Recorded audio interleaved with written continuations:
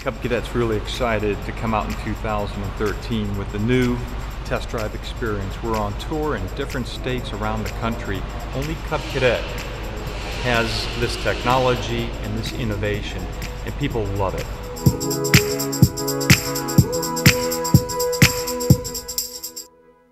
it.